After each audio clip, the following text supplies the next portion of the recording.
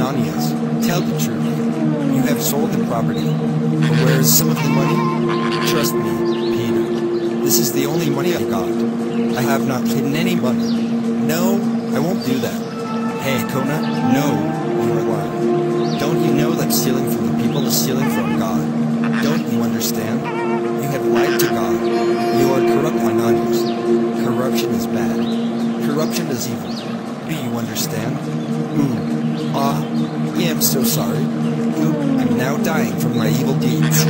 Thank you for coming here, Sapphira. I trust you are a woman of integrity. Just recently, we celebrated a Women's Month. Very soon we will be celebrating Valentine's Day. But to me, every day, every hour and every minute I honor women. Thank you, Peter. Where is my husband? Your husband is. No, first tell me the truth, Sapphira. Where is some of the money?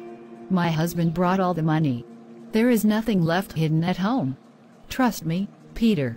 You think I would lie to you? Of course, you are lying, Sapphira. And you are lying to God, not to me. In fact, you have planted the seeds of corruption in this world. You will harvest through corruption. This world will be infected by your corruption virus. Go die like your husband. Ooh, no, I'm so, so, ashamed. Sorry. Ooh, poor me, I am now dead.